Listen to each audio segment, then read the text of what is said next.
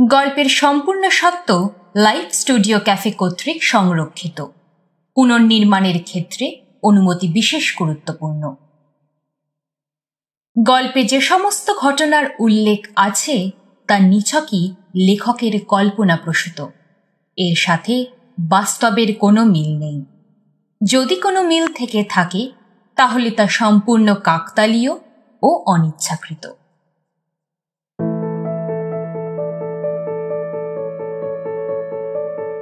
Live studio ক্যাফের পাশে থাকার জন্য আপনাদের সকলকে অসংখ্য ধন্যবাদ। আপনাদের এই সহযোগিতায় আজ আমরা এক হাজার শ্রোতার পরিবার হয়েছি।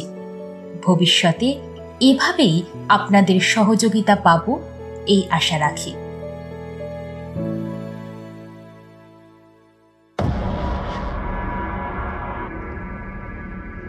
বিষ, অর্থাৎ প্রাণঘাতী। কিন্তু বিষের প্রকোপ থেকে কি প্রাণ রক্ষা করা সম্ভব? অনেক ক্ষেত্রে সম্ভব, আবার অনেক ক্ষেত্রে অসম্ভব। কিন্তু বিষক্রিয়া যদি উপাদানের মাধ্যমে না হয়ে অন্য উপায় হয়? যে উপায় আমাদের পৃথিবীর অনেকের কাছেই অজানা বা অচেনা। আর কি উপায় থাকতে পারে? যে উপায় এই অদৃশ্য বিষ শরীরে প্রবেশ করতে পারে? সেই অদৃশ্য বিষ কতটা সময় নেয় একজন মানুষকে মৃত্যুর মুখে ঠেলে দিতে? প্রশ্ন অনেক, কিন্তু উত্তর হয়তো লুকিয়ে আছে গল্পে। আজ আপনাদের জন্য লাইভ স্টুডিও ক্যাফে অরিজিনালসের বিশেষ নিবেদন। লেখিকা রিয়া দাস সামন্ত রচিত এক অসমাপ্ত আখ্যান বিষমন্ত্র গল্পের প্রধান চরিত্রে গল্পের কথক ত্রিধা দীপু দেবী ও তানিয়া। অন্যান্য পার্শ্ব চরিত্রে সৌরভ রিঙ্কু দেবী ইলা দেবী সাইক্রিয়াটিস্ট, ডাক্তার, নারায়ণচন্দ্র ব্যানার্জি, সৌরভের মাসি, সুতনু, জয়দীপ বর্মন ও ধীমান। শুরু হচ্ছে আজকের গল্প বিষমন্ত্র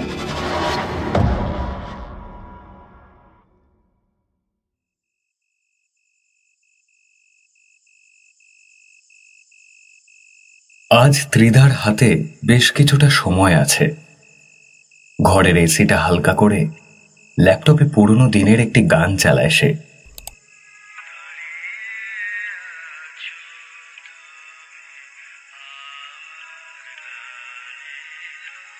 পুরনো দিনের সেই গান শুনতে শুনতে সে তার নিজের জীবনের পুরনো স্মৃতিতে হারিয়ে যায়।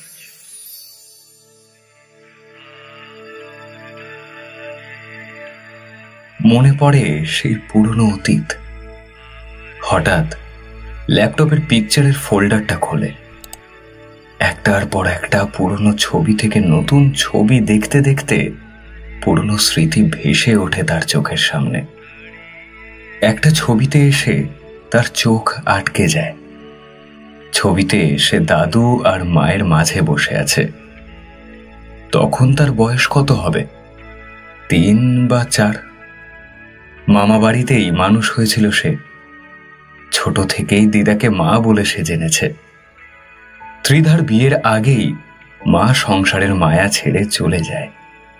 কিন্তু সন্তানের মায়া এক অসম্ভব মায়া। যা জীবিত অবস্থায় যতটা থাকে, ততটাই প্রখর থাকে মৃত্যুর পরেও। সন্তানের ভালো মন্দ যতটা মায়েরা বোঝে, ততটা হয়তো কেউ বোঝে না। হয়তো সন্তান নিজেও না। ত্রিধার মা রিঙ্কু অনেক ছোট বয়সে বাড়ির অমতে বিয়ে করে। বিয়ের দু বছর পরে ত্রিধা আসে রিঙ্কুর কোল আলো করে। নাতনির মুখ দেখে রিঙ্কুর বাবা নির্মল বাবু ও মা দীপু দেবী রিঙ্কুকে মেনে নেয়। কিন্তু সন্তান জন্ম দিলেও তখন রিঙ্কুর মধ্যে মা হবার যোগ্যতা যে তৈরি হয়নি, সেটা বুঝতে পারেননি দীপুদেবী। ছ মাস নিজের কাছে মেয়ে ও নাতনিকে রেখে তারপর শ্বশুর বাড়িতে পাঠিয়ে দেন নিজের মেয়েকে। কিন্তু যেদিন সকালে রিঙ্কু শ্বশুর বাড়ি ফিরে যায়, ঠিক সেই দিনই রাত দুটোর সময় দীপু দেবীর বাড়িতে কড়া নাড়ার শব্দে সবার ঘুম ভেঙে যায়।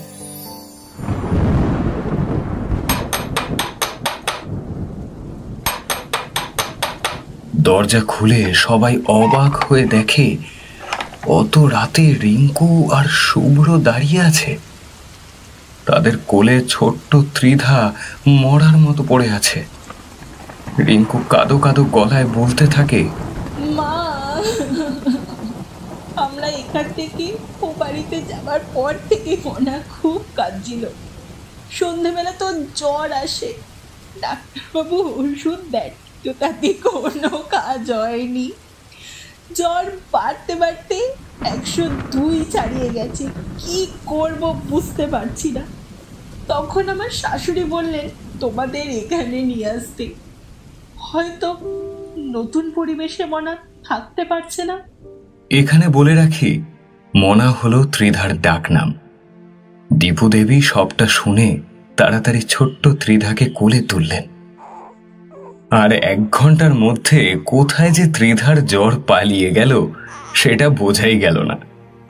মনে হলো এতক্ষণ সে ঘুমোচ্ছিল, কিন্তু এখন এখন যেন মায়ের স্পর্শে তার ঘুম ভাঙল। এরপর আর কেউ ত্রিধাকে মামা বাড়ি থেকে নিয়ে যেতে সাহস পায়নি। তারপর আদরে আবদারে মানুষ হতে থাকে ছোট্ট ত্রিধা। দীপুদেবী ত্রিধাকে কখনো নাতনি ভাবেননি।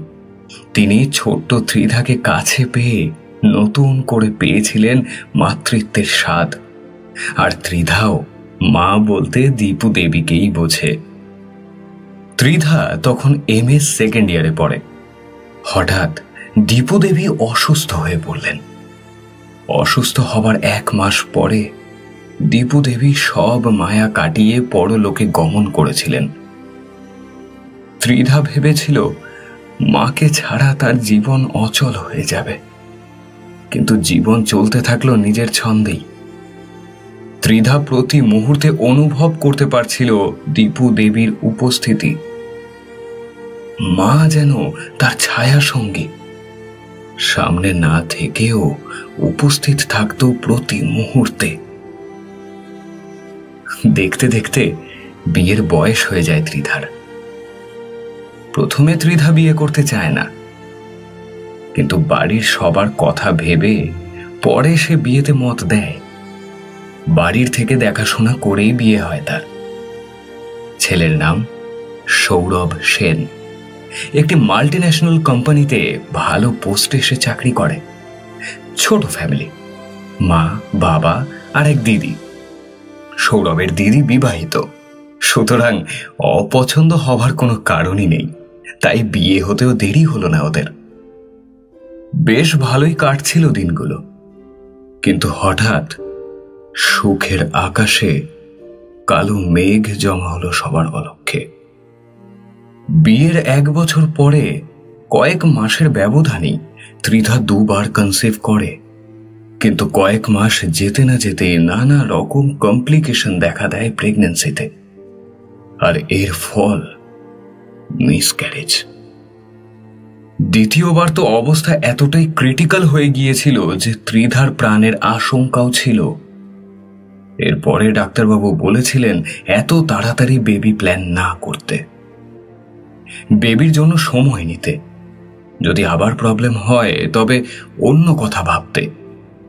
এই ঘটনার পরে শ্বশুরবাড়ির চেনা পরিবেশটাই যেন পাল্টে গিয়েছিল। আগে যাদের সব প্রয়োজনে ত্রিধাকে দরকার হতো, এখন যেন এখন যেন তারা ত্রিধাকে সহ্যই করতে পারছিল না। যে কোনো শুভ অনুষ্ঠানে ত্রিধাকে যেন সবাই এড়িয়ে চলতে শুরু করেছিল। একদিন তো সৌরভের মাসি ঘুরতে এসে সৌরভকে সরাসরি বলেই বসেছিল, শোন বাবু, এই ভোরতারে যখন বাচ্চা হচ্ছে না, তখন তুই আবার বিয়ে কর বাবু। আমার কথা শোন বাবু। এরকম একটা মেয়ে নিয়ে ঘর করিস না যে তোকে কোনোদিনও সন্তান সুখী দিতে পারবে না। কথাটা শুনে ত্রিধার মাথা যেন ঘুরে গিয়েছিল। আর সব থেকে খারাপ লাগছিল সৌরভের মা বাবাকে চুপ করে থাকতে দেখে। তার মানে তাদেরও তাই ইচ্ছা। ত্রিধা মনে মনে ভাবল, এই তো কদিন আগেই সৌরভের বাবা খুব অসুস্থ ছিলেন। তখন ত্রিধাই তার সেবা করেছে। কিন্তু আজ তারাই তাকে তাড়াতে চাইছে শুধু বাচ্চা হচ্ছে না বলে। ত্রিধা চোখের জল চেপে ঘরে যেতে যেতে শুনল সৌরভ বলছে মাসি নিজের সংসারে মন দাও। আমাদের সংসার নিয়ে তোমাকে ভাবতে হবে না। আর যদি মনে করো সেটা তোমার পক্ষে সম্ভব নয় তাহলে দয়া করে তুমি আমাদের বাড়িতে আর এসো না। সেই রাতে কাঁদতে কাঁদতে কখন যে ঘুমিয়ে পড়েছিল ত্রিধা সেটা সে জানে না। কিন্তু যখন সে চোখ খুলল, তখন দেখল মায়ের কোলে মাথা দিয়ে শুয়ে আছে। ত্রিধা মাকে দেখেই আবার ডুকরে কেঁদে উঠল। দীপু দেবী তার মাথায় হাত বুলোতে বুলোতে বললেন, কাঁদিস না সোনা, আমি সব জানি। জানি তুই খুব কষ্টে আছিস। তাই তো এলাম তোর কাছে। তুই যদি এভাবে কাঁদতে থাকিস তাহলে আমার যা বলার তা বলি কীভাবে? ত্রিধা কান্না থামিয়ে বলে বলো বলো তুমিও কি আমাকে দোষ দেবে? দীপু দেবী একটু হেসে বললেন দেবই তো। আমি কি তোকে এত নরম সরম করে তৈরি করেছি? তো ফাইটার তোকে একটা গল্প বলি।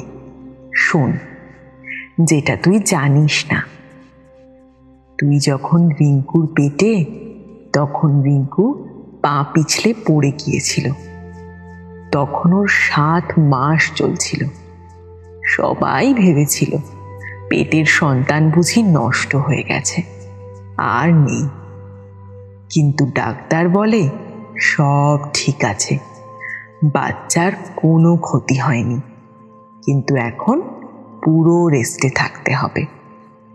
তারপর তুই যখন জন্ম নিলি সম্পূর্ণ সুস্থভাবে তখন ডাক্তার তোকে আদর করে বলেছিল শি ইজ এ ফাইটার এটা তো আগে কোনোদিনও শুনিনি? সব জিনিস জানার একটা সময় আছে। আজ সময় হলো তাই বললাম তারপর দীপু দেবী বললেন শোন তোর শ্বশুর শাশুড়ি পুরনো যুগের মানুষ। তারা অমন কথা বলতেই পারে কিন্তু মানুষ হিসেবে ওনারা কখনোই খারাপ নন।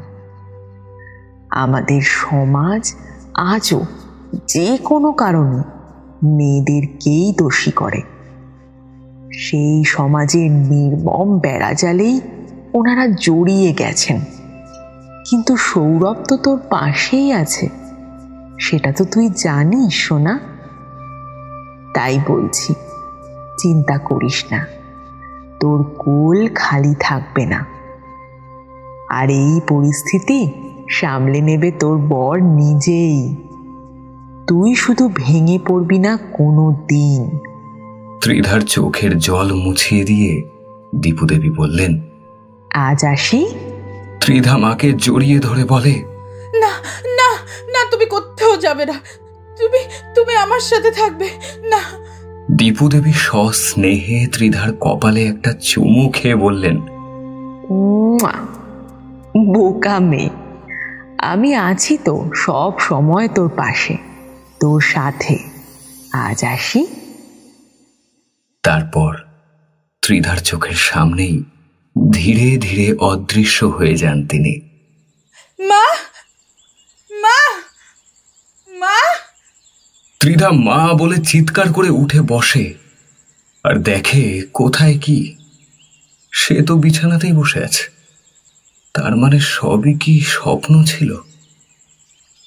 জানালা দিয়ে বাইরে তাকিয়ে দেখল আকাশে ভোরের আলো হালকা করে ফুটতে শুরু করেছে।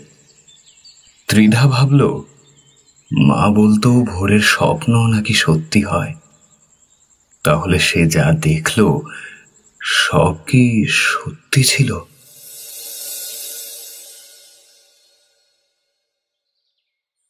পরের দিন সে নিজের মা, অর্থাৎ রিঙ্কু দেবীকে ফোন করে ঘটনার সত্যতা যাচাই করার জন্য। মা তোমাকে না একটা কথা জিজ্ঞেস করব। মা আমি যখন তোমার গর্ভে ছিলাম তখন তুমি কি কোনোদিনও পা পিছলে পড়ে গিয়েছিলে? তুই কি করে জানলি এসব কথা? এই ঘটনা তো তোর জানার কথা নয়। ত্রিধা আর কোনো কথা বলে না। শুধু বুঝতে পারে স্বপ্নে নয় তার কষ্ট দেখে সত্যিই এসেছিল মা মনা শুনতে পাচ্ছিস হ্যালো হ্যালো আ- আচ্ছা মা আমি রাখি পরে কথা বলছি।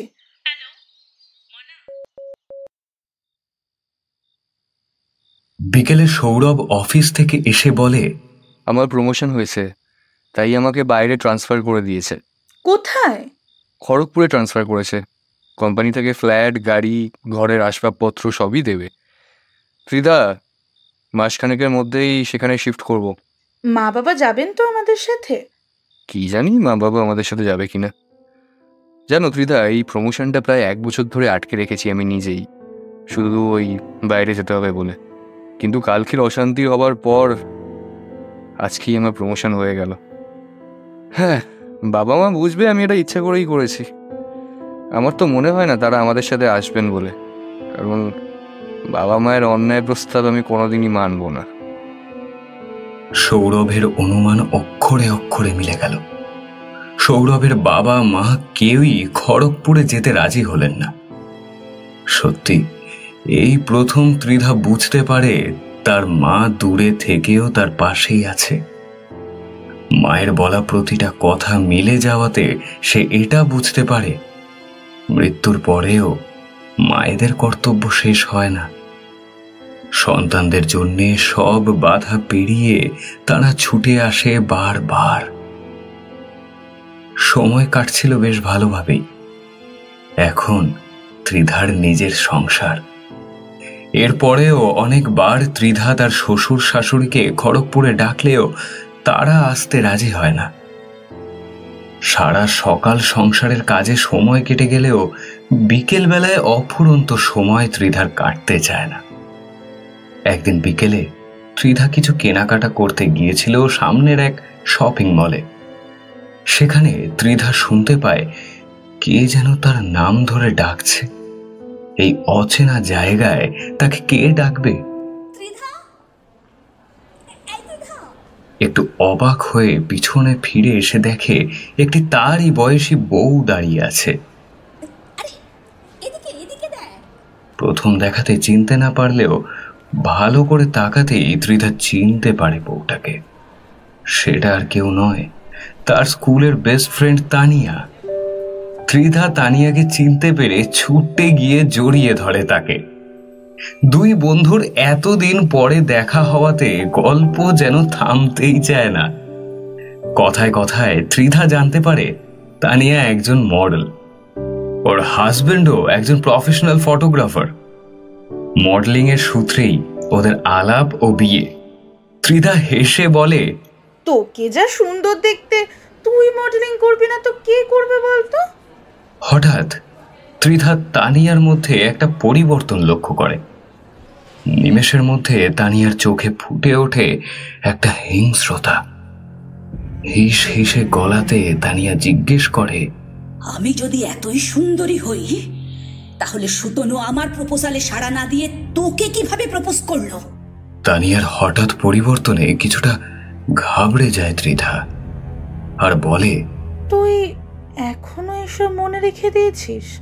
আমি সব মনে রাখি। যারা আমার ক্ষতি করে তাদের আমি আরও বেশি করে মনে রাখি।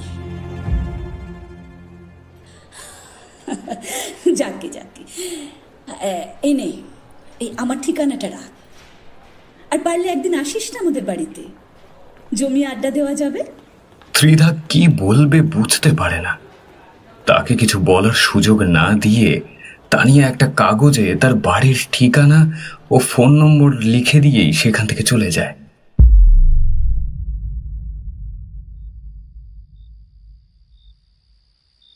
সৌরভ বাড়ি ফিরে দেখে ত্রিধা চুপ করে বসে আছে। সৌরভ অনেকদিন পরে তাকে মন মরা হয়ে থাকতে দেখে জানতে চায় কি হয়েছে তোমার? মুড অফ কেন? ত্রিধা শপিং মলের সব কথা খুলে বলে। সব শুনে সৌরভ বলে সুতনুর কেসটা কি? এর নাম আগে তো কখনো শুনিনি। বলার মতো কিছুই ছিল না তাই বলিনি। আচ্ছা তাও বলো শুনি না। মানে যদি তোমার কোনো আপত্তি না থাকে। তারপর একটু থেমে ত্রিধা বলতে শুরু করে।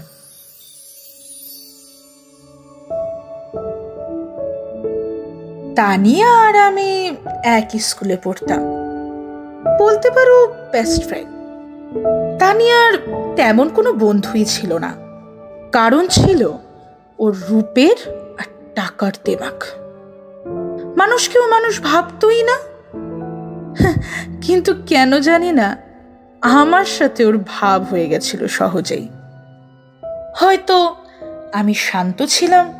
ওর ওর ঠেরা ব্যাকা কথা অত গায়ে মাখতাম না। বা আমাকে দেখতে ছিল একদমই সাদামাটা সেই জন্যই হয়তো ও আমাকে বন্ধু হিসেবে মেনে নিয়েছিল। স্কুল পেরিয়ে আমরা একই কলেজে ভর্তি হলাম। সেখানে আমাদের সিনিয়র দাদা ছিলেন সুতানু রায়। দারুণ গান গায়। হ্যান্ডসাম। আবার বাবার বিরাট ব্যবসা। এক কথায় মেয়েদের হার্ট থ্রব।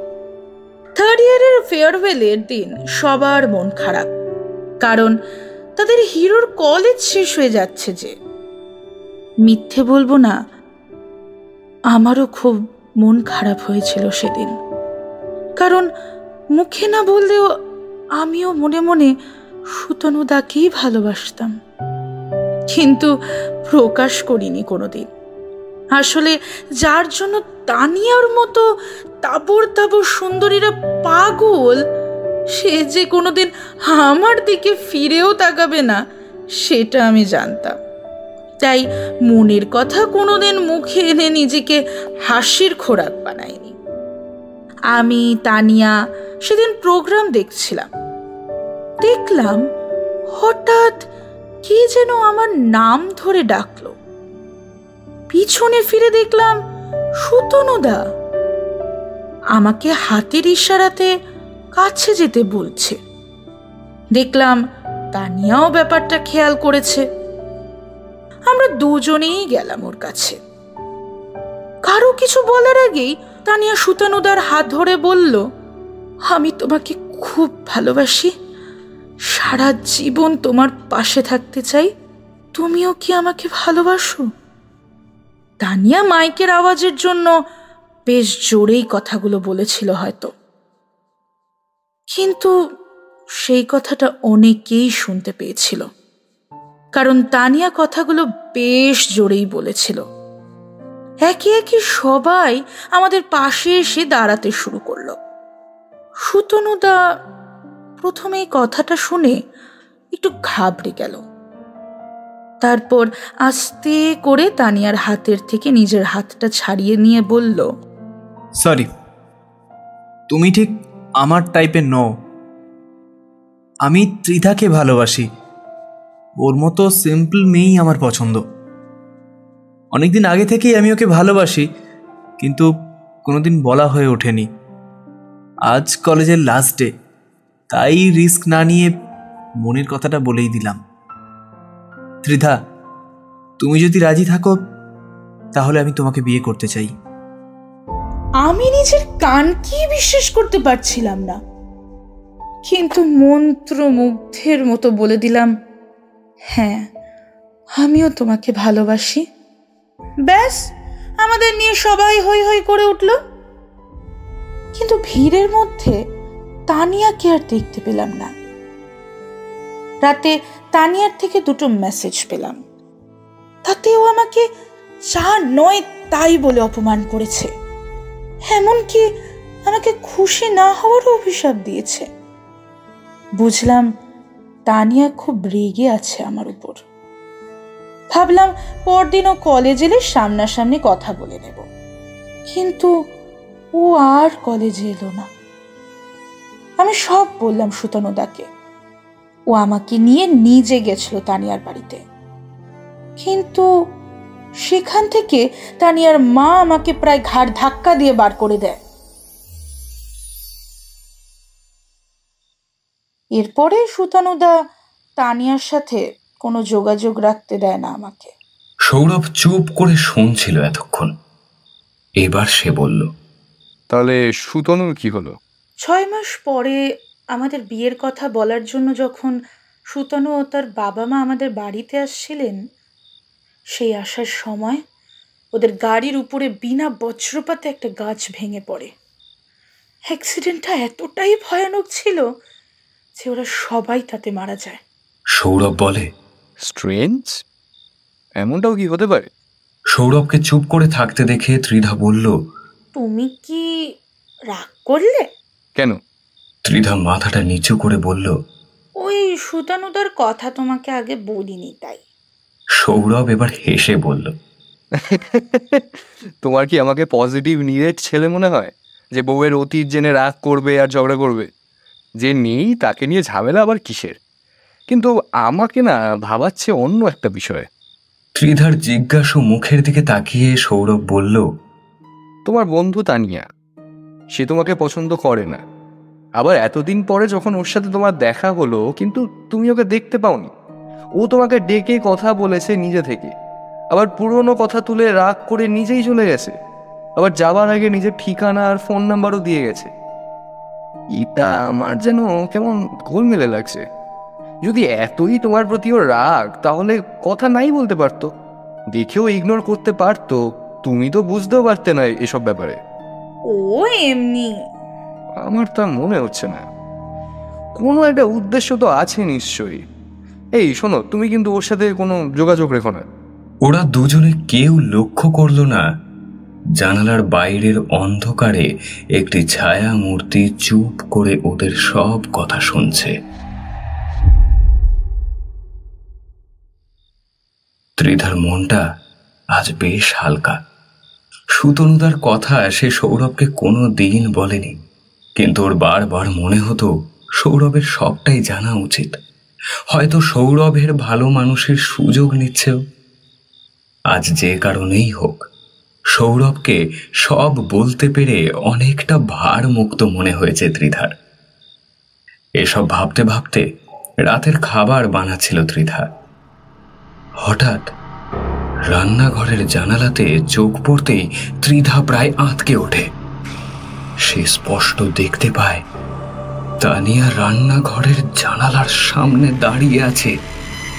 ওর চোখে মুখে ফুটে উঠেছে ত্রিধার প্রতি রাগ, হিংসা। ত্রিধা ভয়ে চিৎকার করে ছুটে যায় বেডরুমের দিকে। সৌরভ ত্রিধাকে চিৎকার করে বেডরুমে আসতে দেখে খুব অবাক হয়ে যায়। কি হয়েছে ত্রিদা কি হয়েছে? তানিয়া তানিয়া তানিয়া কোথায়?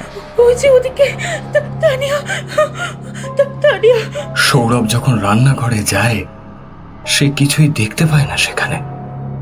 ত্রিধাও খুব অবাক হয়। সে এত ভুল দেখবে?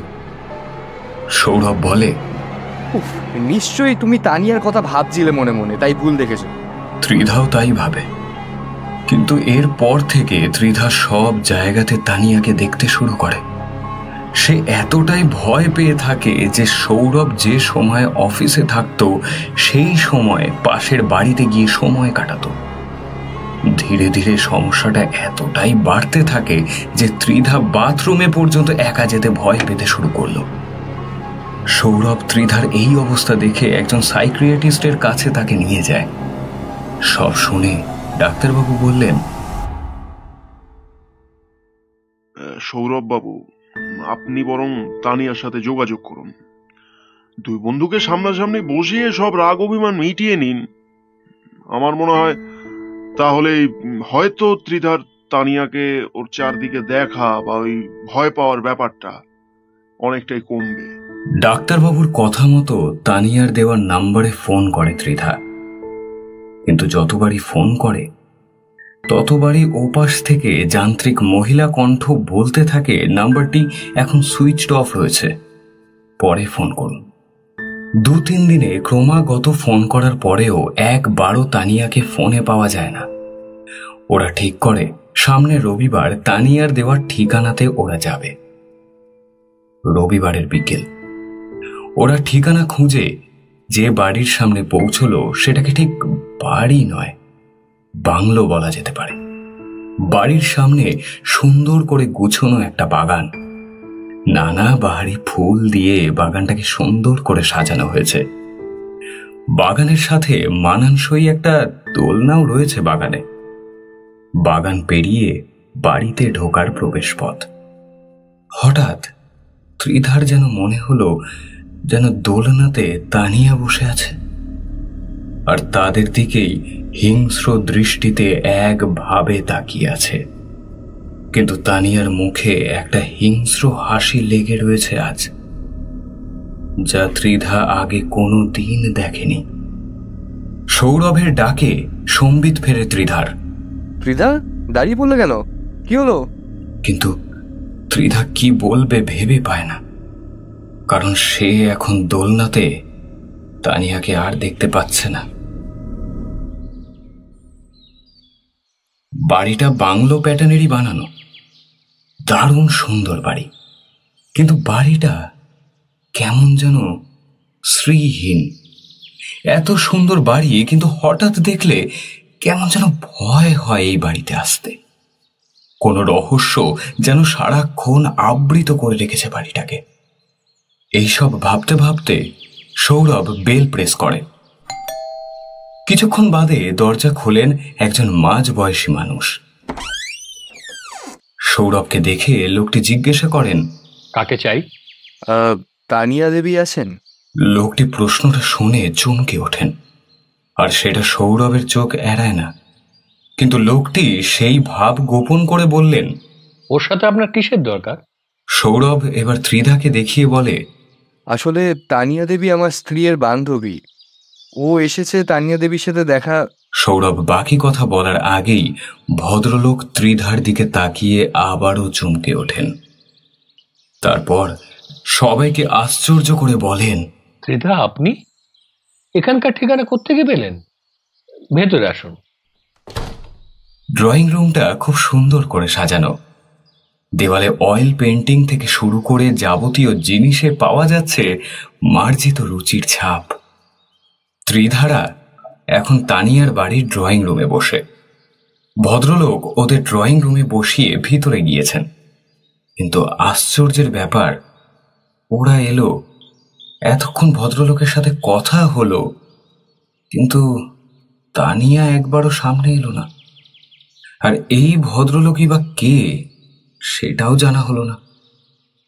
একটু পরেই সেই ভদ্রলোক একটা ট্রেতে তিন কাপ চা আর কিছু স্ন্যাক্স নিয়ে এলেন।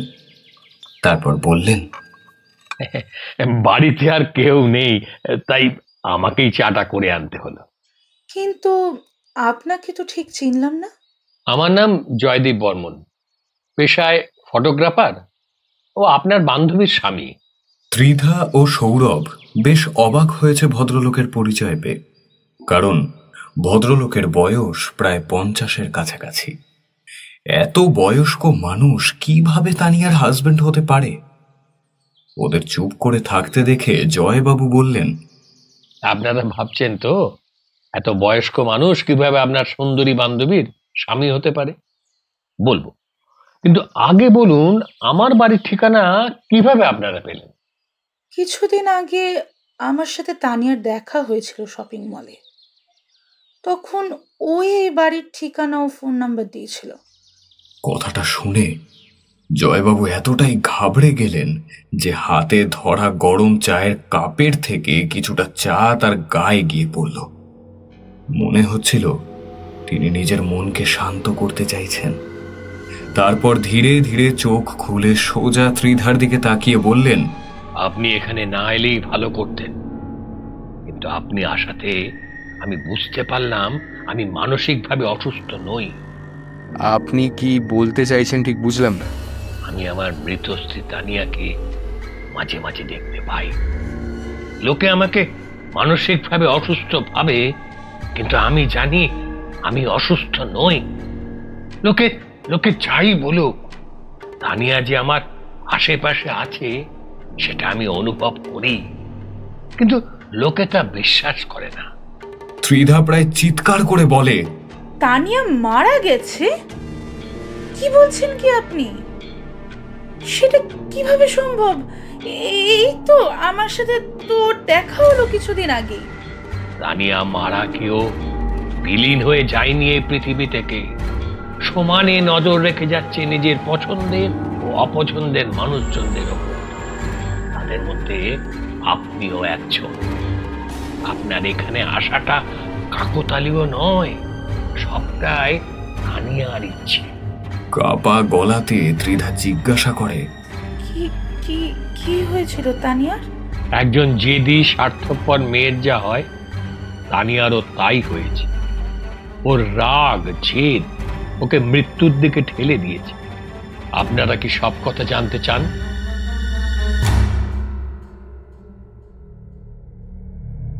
শুনছেন বিষ মন্ত্র। ত্রিধা একা ঘরে ল্যাপটপে একটি গান চালিয়ে পুরনো স্মৃতিতে হারিয়ে যায়। মনে পড়ে অতীতে তার দিদিমার মাতৃত্বের কর্তব্য। দিদিমার আত্মা সবসময় ত্রিধার পাশে থেকে ত্রিধাকে রক্ষা করে। তারপর স্বামীর চাকরিতে বদলি হয়। একদিন ত্রিধার শপিং মলে দেখা হয়ে যায় তার কলেজ ফ্রেন্ড তানিয়ার সাথে।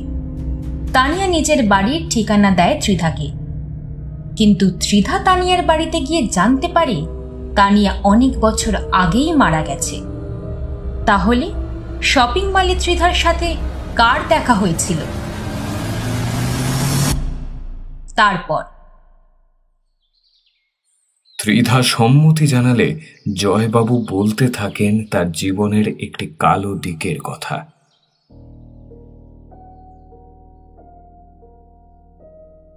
তানিয়ার রূপ যে ছিল সেটা তো সবাই জানে।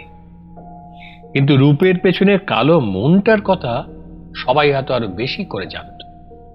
তাই যাদের তানিয়া একটু কাছের ভাবতো, তাদের সে আঁকড়ে ধরত। এমনকি ভাবতো তাদের জীবনের প্রতিটা ডিসিশন তার কথা মতোই হবে। তানিয়া মডেলিং করতে আসার পর আমার সাথে ওর দেখা হয়। তানিয়া টুকটাক অ্যাডের কাজ বা মডেলিং এর কাজ পেলেও তেমন বড় কোনো কাজ পাচ্ছিল না। রূপ আছে, গুণ আছে, কিন্তু কাজ নেই। কারণ ততদিনে তানিয়ার বদ মেজেজের কথা ছড়িয়ে পড়েছে চারিদিকে। আবার কেউ যদি কাজ দিচ্ছেও, সেখানে কাজ করতে গিয়ে সহকর্মীদের সাথে নানাভাবে প্রবলেম তৈরি হচ্ছিল তানিয়ার। ঠিক সেই সময় তানিয়া আমার কাছে আসে ফটোশুটের জন্য। আমি দেখি মেয়েটা মুখে যাই বলুক না কেন, ওর মনটা খারাপ নয়। তাই হয়তো খানিকটা প্রশ্রয় আমি দিয়ে ফেলেছিলাম। আর ও হয়তো খানিকটা দুর্বল হয়ে পড়েছিল আমার প্রতি। আমাদের মাঝে একটা মিষ্টি সম্পর্ক তৈরি হয়। যদিও এখন মনে হয় সবটাই ছিল তানিয়ার অভিনয়। ও আমাকে নিজের কেরিয়ারের সিঁড়ি হিসেবে ব্যবহার করতে চেয়েছিল। যেটা আমি তখন বুঝতে পারিনি। আমিও সোর্স খাটিয়ে তানিয়াকে কিছু নাম করা ব্র্যান্ডের মডেলিং এর কাজ এনে দিয়েছিলাম। সবই ভালোই চলছিল, জানেন? কিন্তু একদিন হঠাৎ করে তানিয়া আমাকে বিয়ের প্রস্তাব দেয়। প্রথমে আমি রাজি হইনি, কারণ আমার থেকে তানিয়া বয়সে অনেকটা ছোট। আমার ওকে ভালো লাগল, কোনোদিন ওকে আমি অন্য নজরে দেখিনি। আমাদের সম্পর্কটা ওই বন্ধুত্বের গণ্ডির মধ্যেই আবদ্ধ রেখেছিলাম। কিন্তু আমি না বলাতে শুরু হলো তা নিয়ে আর পাগলাম। কিন্তু আমি আমার সিদ্ধান্তে অনড় ছিলাম। একদিন তানিয়া নিজের হাত কেটে সুইসাইড করতে গেছিল, কিন্তু ওর মা দেখে নেওয়াতে ও বেঁচে যায়। আর হাতের ক্ষতটাও ততটা বেশি গভীর ছিল না। কিন্তু মেয়ে যদি আবার এমন কিছু করে বসে সেই ভয়ে তানিয়ার মা বাবা নিজে এসে আমাকে বিয়ের প্রস্তাব দেন। আমিও ভাবি হয়তো সত্যি তানিয়া আমাকে ভালোবাসে। বয়সটা হয়তো ওর কাছে সত্যি কোনো ফ্যাক্টর নয়। আরে একটা ভুল ভাবনা আমার জীবনটাকে পুরো তছনছ করে দিল। সৌরভ এবার একটু বিরক্ত হয়ে বলল দেখুন জয়বাবু দেখুন আপনার কথা আমার ঠিক একদমই মাথায় ঢুকছে না। আপনি যা বলছেন তা শুনে মনে হচ্ছে আপনার স্ত্রী তানিয়া মারা গেছে তারপর তার আত্মাকে আপনি দেখছেন আর আমার স্ত্রীও দেখতে পাচ্ছে তাকে। জয়বাবু মাথা নেড়ে বললেন আপনি ঠিকই ধরেছেন কিন্তু আপনার কথা বলার ভঙ্গিতে মনে হচ্ছে না যে আপনি তা বিশ্বাস করেছেন। কি করে বিশ্বাস করি বলুন? আজকের এই আধুনিক যুগে দাঁড়িয়ে এই ভূত প্রেত কি কেউ মানে?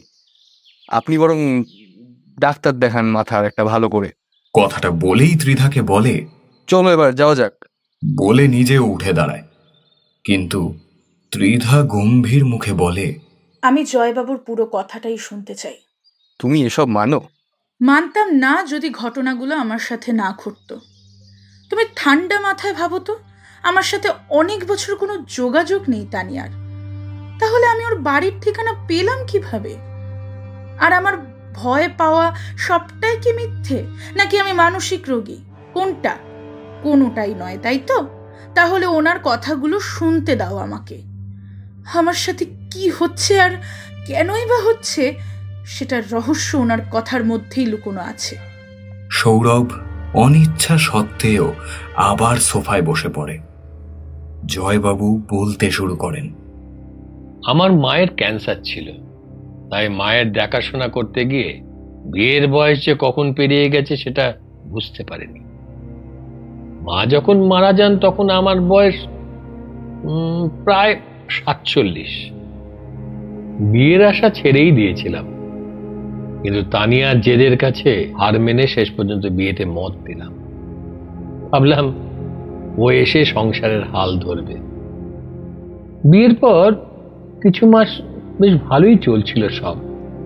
আমাকে বিয়ে করার জন্য তানিয়ার পাবলিসিটিও হয়েছিল বেশ।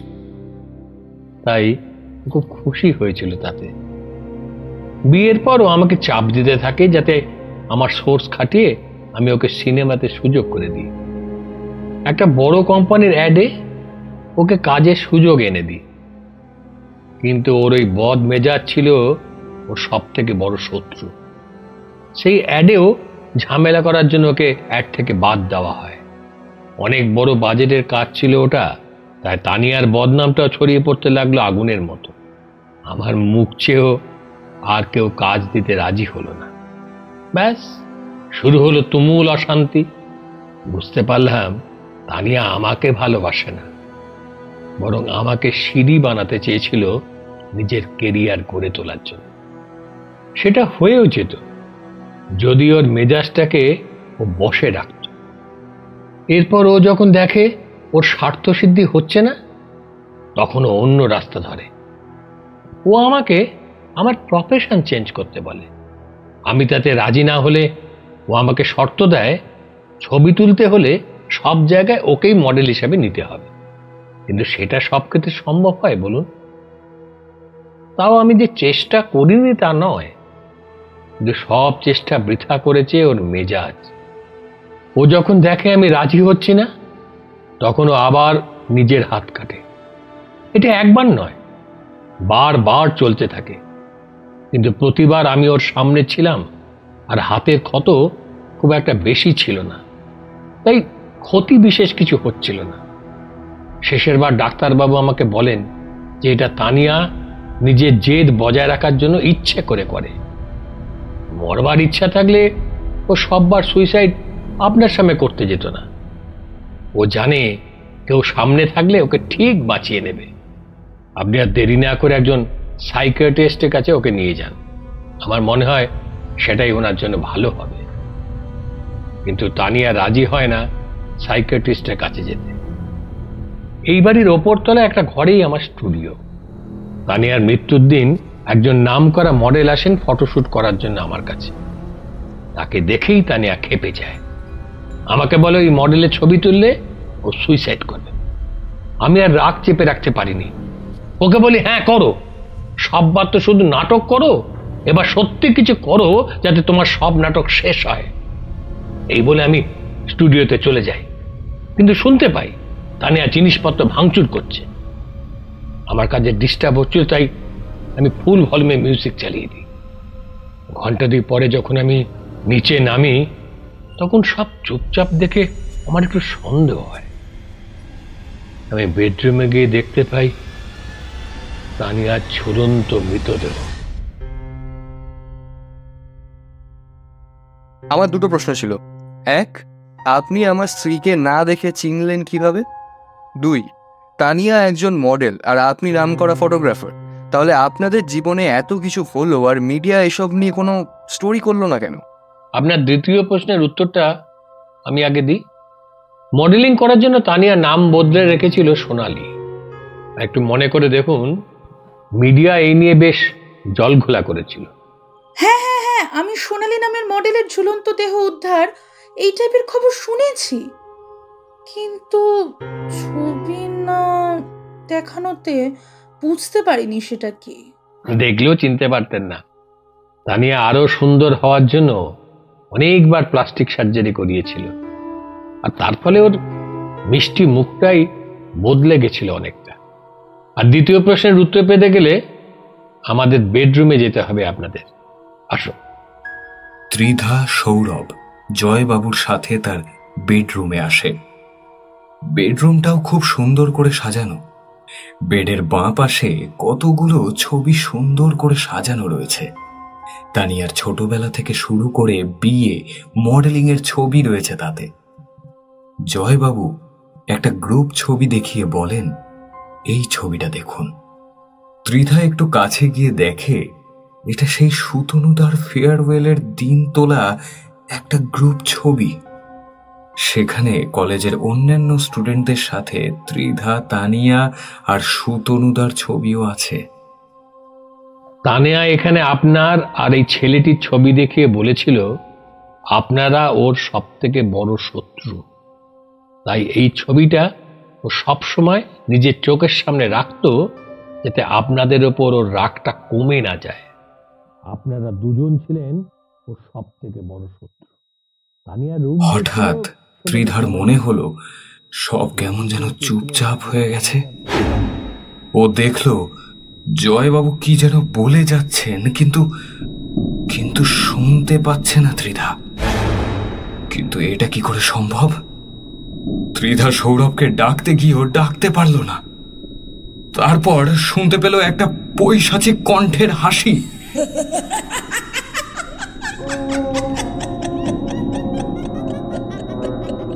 ওপাশ ফিরতেই দেখলাম দানিয়া দাঁড়িয়ে ওর গলা থেকেই অমন ভয়ানক হাসি বার হচ্ছে।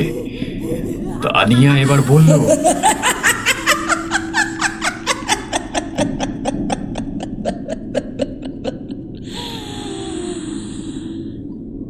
আমার সব থেকে বড় শত্রু তুই। তোর জন্যই সুতনু আমাকে পছন্দ করেনি। সুতনুর পরে আমি আর কাউকে ভালোবাসিনি। এই পুরো জয়টাকে বিয়ে করি। অন্তত ও আমাকে আমার কেরিয়ার করতে সাহায্য করবে। কিন্তু সেটা তো করলোই না। বরং ওকে ভয় দেখাতে গিয়ে আমি নিজে মরে গেলাম।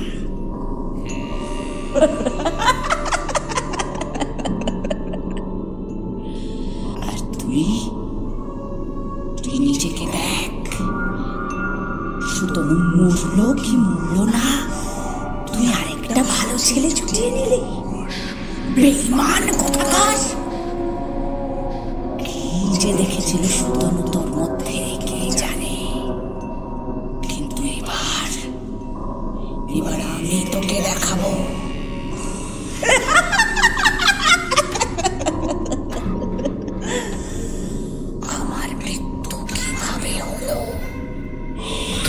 ভয়ে জমে পাথর হয়ে গেছে।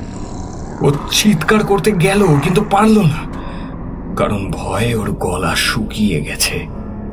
হাজার চেষ্টা করেও এক ফোঁটা শব্দ বের হলো না ত্রিধার গলা থেকে। আর চোখে দেখল, সৌরভ আর জয়বাবু নিজেদের মধ্যে কথা বলছে। কেউ লক্ষ্যই করছে না ওকে। তার মানে তার মানে ওরা কেউ তানিয়াকে দেখতে পাচ্ছে না। তানিয়া হিস হিসে গলায় বলল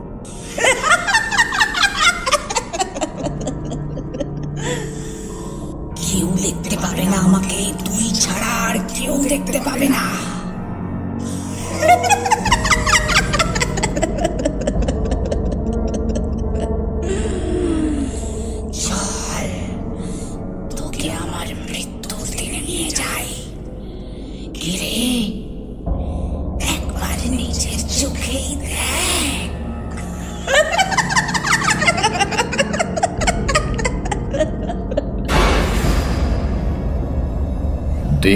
দেখতে ত্রিধার চোখের সামনে ঘরের পরিবেশ যেন কোনো মন্ত্র বলে বদলে গেল।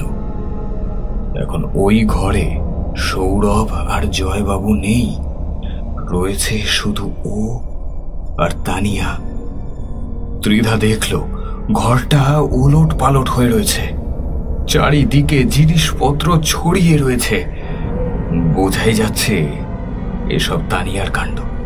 তানিয়া বলল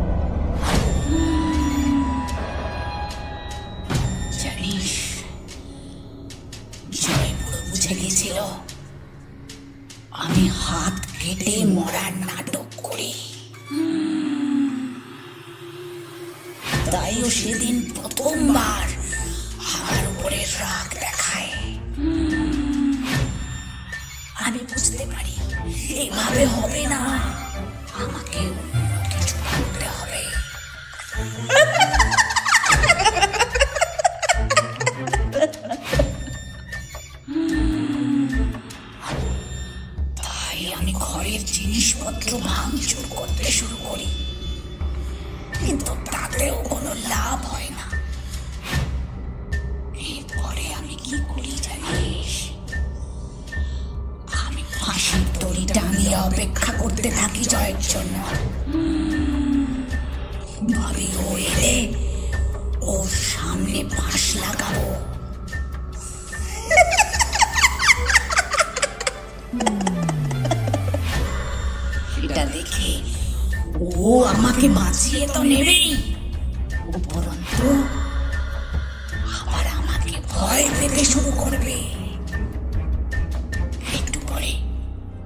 কথা বলতে বলতে ঠিক সেদিনের মতো খাটে উঠে দাঁড়ায় দাঁড়িয়া। তারপরে বলে একটু পরে। আমার মনে হয় জয় নিচে নেমে আসছে।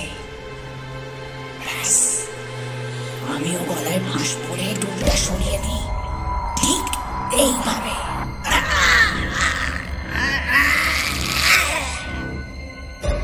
কথার মাঝে ইতানিয়া গলায় ফাঁস লাগিয়ে টুলটা সরিয়ে দেয়। ত্রিধা দেখতে পাচ্ছে। তানিয়ার গলাতে ফাঁসির দড়িটা আস্তে আস্তে বসে যাচ্ছে। খুব ছটফট করছে ও। দড়িটা খুলে ফেলতে চাইছে গলা থেকে, কিন্তু কিন্তু পারছে না। একটা সময় তানিয়ার জিভ বেরিয়ে আসে। চোখগুলো যেন ঠিকরে বেরিয়ে আসতে চায়। জিভ দিয়ে গড়িয়ে পড়তে থাকে লাল রক্ত। ধীরে ধীরে নিস্তেজ হয়ে যায় তানিয়া। ওর চুলগুলো মুখের উপর ছড়িয়ে পড়ে আরও ভয়ানক লাগছে ওকে। সবকিছু ত্রিধার সামনেই হলো, কিন্তু কিন্তু কিছু বলার বা সেখান থেকে ছুটে পালানো কোনোটাই সম্ভব হলো না তার পক্ষে। কারণ ত্রিধার হাত পা যেন বরফ হয়ে গেছে। নিজেকে একটা পাথরের মূর্তি ছাড়া আর কিছুই মনে হচ্ছে না তার। সে দেখল, সেই ঝুলন্ত অবস্থাতেই তানিয়ার দেহ যেন নড়তে শুরু করেছে। ওইভাবেই তানিয়া বলল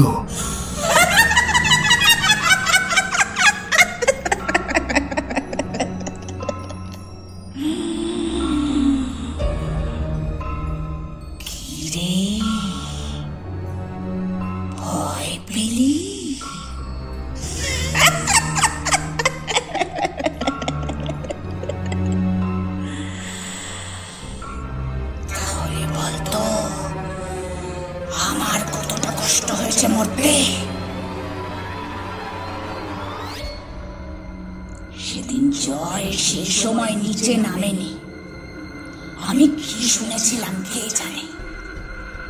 বেকার ভয় দেখাতে গিয়ে নিজেই মরে গেলাম।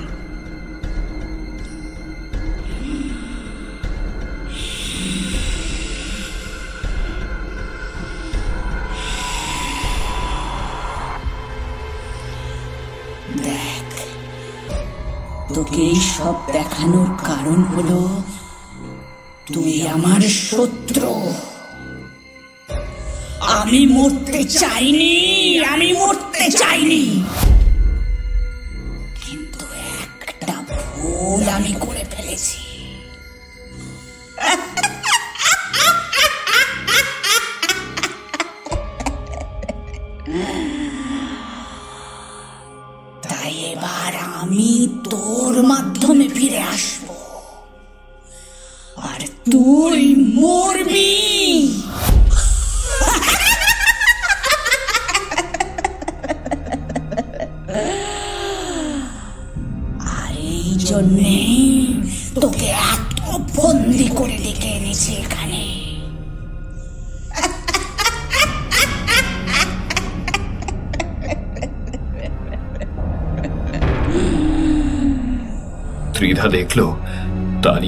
হাওয়াতে ভাসতে ভাসতে ওর দিকে এগিয়ে আসছে। ত্রিধা বোঝে ভয়ানক কিছু একটা হতে যাচ্ছে। ওকে ওকে সৌরভকে ডাকতেই হবে। তাই সব শক্তি জড়ো করে চিৎকার করে ওঠে ত্রিধা।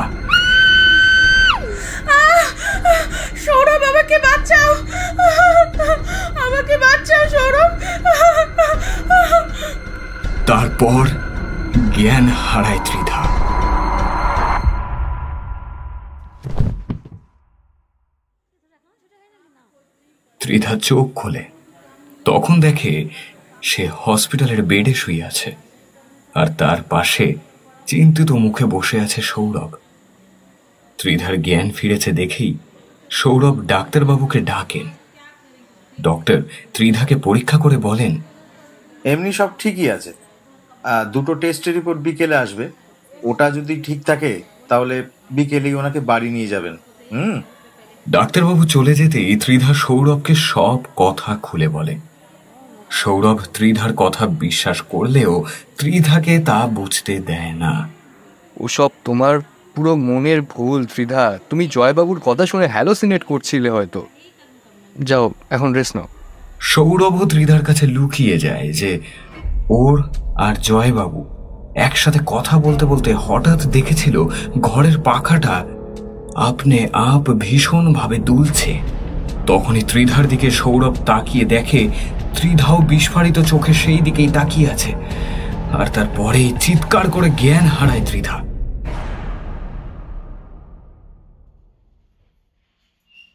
বিকেলে ডাক্তারবাবু সৌরভকে আলাদাভাবে নিজের কেবিনে ডেকে পাঠান। ডাক্তারকে চিন্তিত মুখে বসে থাকতে দেখে সৌরভ জানতে চায়। কি হয়েছে ডাক্তারবাবু? দেখুন সৌরভবাবু তেমন ভয়ের কিছু না। কিন্তু একটা চিন্তার কারণ আছে আপনার স্ত্রীকে নিয়ে। আপনার স্ত্রী প্রেগনেন্ট হ্যাঁ এই মুহূর্তে তেমন কমপ্লিকেশন নেই প্রেগনেন্সিতে এই তো আনন্দের খবর কিন্তু আপনি বললেন যে চিন্তার কোনো কারণ আছে? হুম। আপনার স্ত্রীর দুদিন আগে পিরিয়ড শেষ হয়েছে। সেটা ওনার মুখ থেকেই আমি শুনি। অর্থাৎ এই মুহূর্তে ওনার প্রেগনেন্ট হওয়ার কথা নয়। কিন্তু বেবি আছে। আর বেবি নিজের অস্তিত্ব জানান দিচ্ছে। এত তাড়াতাড়ি এসব কি করে হচ্ছে সেটাই চিন্তার বিষয়। এনিওয়ে ওনাকে বাড়ি নিয়ে যান সাবধানে রাখুন আর খারাপ কিছু বুঝলেই আমার কাছে নিয়ে আসবেন। সৌরভ চিন্তিত মুখে ডাক্তারকে বলে আপনি দয়া করে ত্রিধাকে এত কিছু বলতে যাবেন না ও ভেঙে পড়বে। আমি ওর খেয়াল রাখব। প্রেগনেন্সির কথা শুনে ত্রিধা প্রথমে নিজেই অবাক হয়ে যায়। কিন্তু সে যখন শোনে ডাক্তারবাবু বলছেন এমন হতে পারে, তখন সব ভুলে আনন্দে মেতে ওঠে। কিন্তু সেই আনন্দ বেশি দিন স্থায়ী হয় না। যত দিন যেতে থাকে, ত্রিধা ধীরে ধীরে দুর্বল হয়ে যেতে থাকে।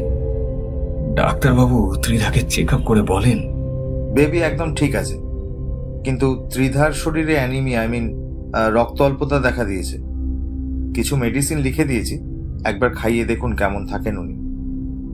আর হ্যাঁ সৌরবাবু একটা বিষয় আমাকে খুব ভাবাচ্ছে জানেন? সেটা হলো বেবির গ্রোথ এত তাড়াতাড়ি কীভাবে হচ্ছে? আই মিন কেন হচ্ছে, কীভাবে হচ্ছে, সেটাই আমি বুঝে উঠতে পারছি না। মেবি বেবির এই অস্বাভাবিক গ্রোথের জন্যই ত্রিধার রক্ত অল্পতা দেখা দিচ্ছে। ধীরে ধীরে এমন অবস্থা হতে থাকে যে ত্রিধার উঠে দাঁড়ানো বন্ধ হয়ে যায়। ত্রিধার অবস্থার অবনতি দেখে সৌরভ বাধ্য হয় তার মা ইলা দেবী ও ত্রিধার মা রিঙ্কু দেবীকে খবর দিতে। ত্রিধার অবস্থা শুনে দুজনেই চলে আসেন খড়গপুরে। ইলা দেবী ও রিঙ্কু দেবী চমকে ওঠেন ত্রিধাকে দেখে। ত্রিধার গায়ের রং খুব একটা ফর্সা নয়। কিন্তু এখন তাকে রক্তহীনতার কারণে রীতিমতো ফর্সা লাগছে। হাত পা অস্বাভাবিকভাবে ফুলে গেছে। চোখের তলাতে গালি পড়েছে। কথা বলতে গেলেই হাঁপিয়ে পড়ছে ত্রিধা। ইলা দেবী সৌরভকে বলেন বৌমাকে দেখে তো মনে হচ্ছে চার বা পাঁচ মাস চলছে। ডাক্তারবাবু কি বলছেন? ডাক্তারবাবু ঠিক ধরতে পারছেন না। কেন এরকম হচ্ছে? এরপরে ইলা দেবী ও রিঙ্কু দেবী দুজনে সংসারের হাল ধরেন আর ত্রিধারও দেখাশোনা করতে থাকেন। কিন্তু সময়ের সাথে সাথে ত্রিধার অবস্থার আরও অবনতি হতে থাকে। একদিন অফিসে সৌরভকে শুকনো মুখে বসে থাকতে দেখে ওর এক কলিগ ধীমান ওকে জিজ্ঞাসা করে কিরে কি হয়েছে? সৌরভ সব কথা খুলে ধীমানকে বলে। সব শুনে ধীমান বলে, দেখ সৌরভ, তোকে একটা কথা বলি। খারাপ ভাবিস না। আমরা এমন অনেক কিছুই বিশ্বাস করি না, যা কিনা চোখে দেখা যায় না। কিন্তু আমরা দেখতে না পেলেও আমাদের জানার বাইরে অনেক কিছু থাকে। অনেক সময় তারা সুযোগ পেলে আমাদের জীবনের ছন্দপতন ঘটায়। আমার মনে হচ্ছে তোদের সাথেও তেমনই কিছু হচ্ছে। আমাদের বাড়িতে মা তারার মন্দির আছে।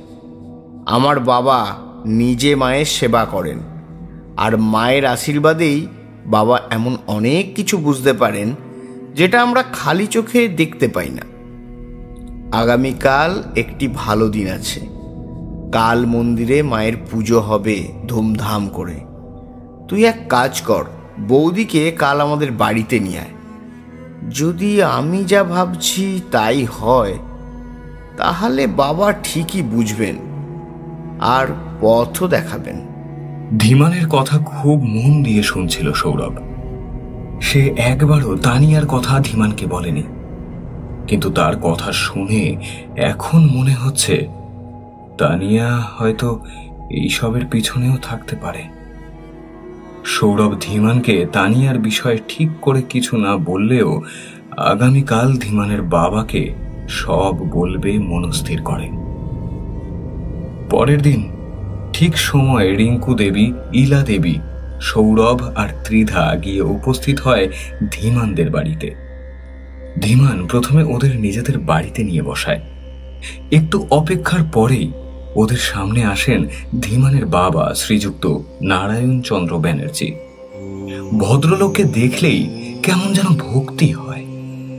প্রায় ষাটের কাছাকাছি বয়স ভদ্রলোকের।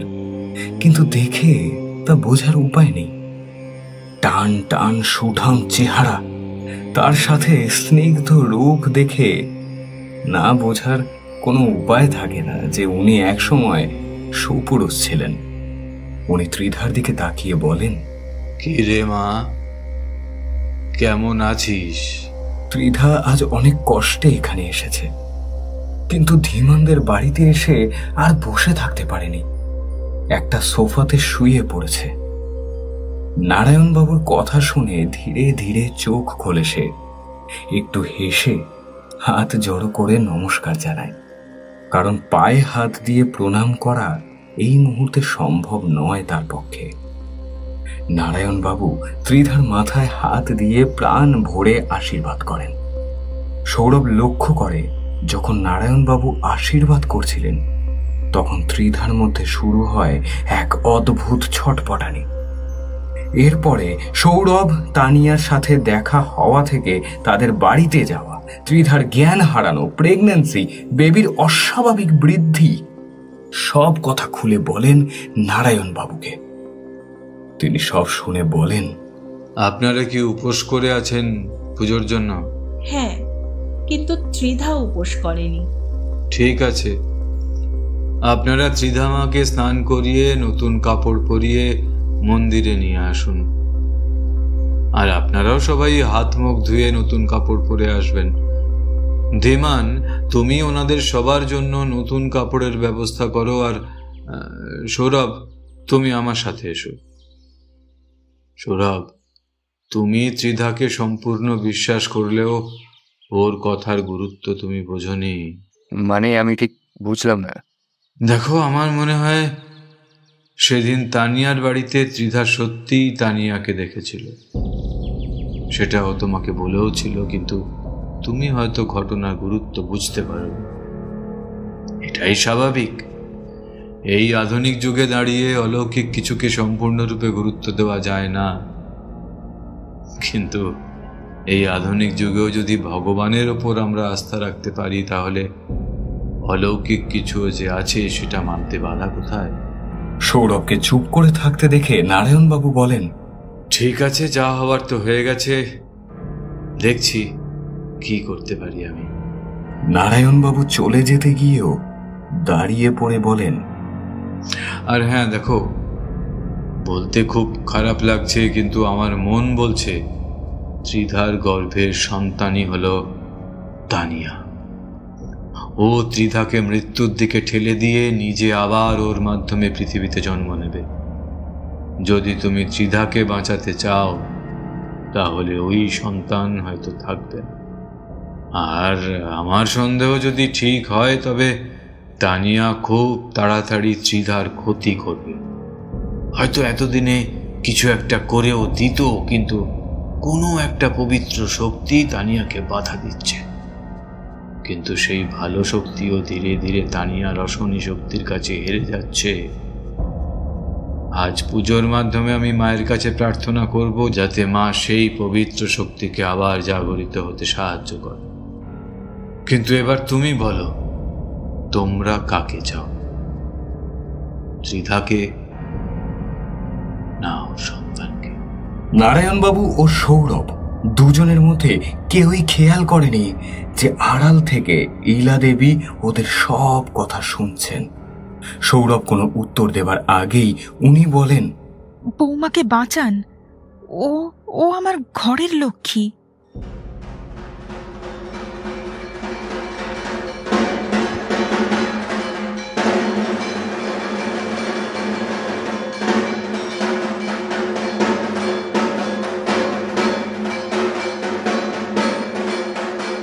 নারায়ণবাবুর কথা অনুযায়ী সবাই নতুন কাপড় পরে মন্দির প্রাঙ্গণে আসেন। মন্দিরটা খুব সুন্দর, আর আজ পুজোর জন্য আরও সুন্দর করে সাজানো হয়েছে। তারামা ছাড়াও মন্দিরে রয়েছেন বাবা ভোলেনাথ ও বজরং বলি সব মিলিয়ে একটা সুন্দর পরিবেশ সৃষ্টি হয়েছে। যথা সময়ে পুজো শুরু হয়। যত সময় যেতে থাকে ততই ত্রিধার মধ্যে এক অদ্ভুত ছটপটানি শুরু হয়। ত্রিধা ছটপট করতে থাকে, যাতে তাকে সেই পুজোর স্থান থেকে সরিয়ে নিয়ে যায়। কিন্তু নারায়ণ বাবু সবাইকে আগেই বলে রেখেছিল, যাই হয়ে যাক না কেন, ত্রিধাকে যেন পুজো চলাকালীন কোথাও নিয়ে না যাওয়া হয়। এক সময় পুজো শেষ হয়। সবাই দেখে ত্রিধা চোখ বন্ধ করে চুপ করে বসে আছে। সৌরভ ত্রিধার কাছে যেতে চাইলে নারায়ণ বাবু তাকে বাধা দিয়ে বলেন সৌরভ এখন ত্রিধার সামনে যাওয়াটা ঠিক হবে না। আর সেই মুহূর্তে নারায়ণবাবু মায়ের আশীর্বাদী জল ত্রিধার গায়ে ছিটিয়ে দিতেই নড়ে ওঠে সে। যে মেয়ে নিজে হাঁটা চলা করতে পারে না সে হিংস্র বাঘিনীর মতো ছুটে যায় নারায়ণবাবুর দিকে। নারায়ণবাবু তখন দাঁড়িয়েছিলেন মায়ের মূর্তির সামনে। ত্রিধা কিছুটা এগিয়েই থমকে দাঁড়ায়। তারপর বিকৃত কণ্ঠে চিৎকার করে বলে, তুই আমাকে হারাবি? জানিস আমার কত ক্ষমতা? তুই যতই চেষ্টা কর, আমি ত্রিধাকে ছেড়ে যাব না। ও মরবে আর আমি ফিরব। বলেই জ্ঞান হারিয়ে মাটিতে লুটিয়ে পড়ে ত্রিধা। নারায়ণবাবু তাড়াতাড়ি ত্রিধার বাম হাতে একটা মাদুলি বেঁধে দেন। তারপর তৎক্ষণাৎ ত্রিধাকে নিয়ে যাওয়া হয় হসপিটালে। নারায়ণবাবু বারবার বলেন, সাবধান, লক্ষ্য রেখে। কোনো অবস্থাতেই ওই মাদুলি যেন হাত থেকে খোলা না হয়।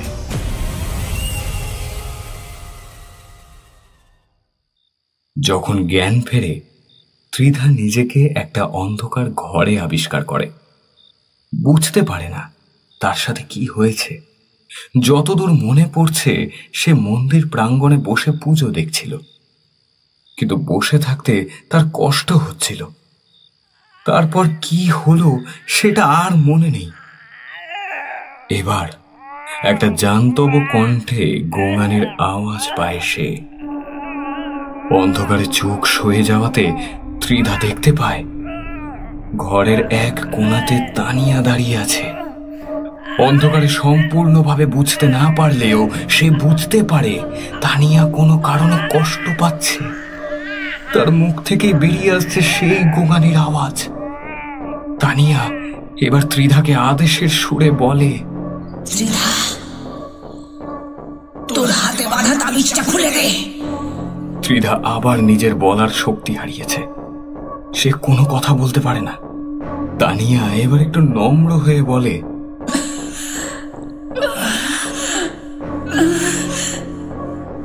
দেখ তাবিজের জন্য আমার খুব কষ্ট হচ্ছে রে। আমার খুব কষ্ট হচ্ছে। অনেক কষ্ট করে ত্রিধা বলে কেন? তানিয়া এরপর আরও নম্রভাবে বলে ওঠে, দেখ, তুই আমাকে ভুলে যেতে পারিস, কিন্তু আমি ভুলিনি তোকে। রাগ হয়তো ছিল তোর উপর, কিন্তু ভালোবাসাও তো কিছু কম ছিল না আমাদের মধ্যে, বল। জানিস তো, যখন তুই খড়গপুরে এলি আমার না খুব রাগ হচ্ছিল তোর উপর। তাই তোকে একটু ভয় দেখানোর জন্য দেখা দি কিন্তু কিন্তু আমি বুঝতে পারি বাচ্চা না হওয়ার জন্য তুই নিজেও কত মনোকষ্টে আছিস। তাই আমি ঠিক করি, আমি তোর গর্ভে জন্ম নেব। দেখ, তাতে আমিও আবার ফিরে আসব। আর তুইও মা হতে পারবি। একসাথে দুজনেই ভালো থাকব। কিরে ভালো হবে না?